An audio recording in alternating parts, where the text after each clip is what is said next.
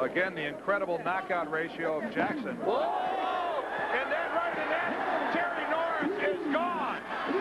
Well, I think it was more than just about anybody could handle. A good look at it Watch here, the Alex. Norris left.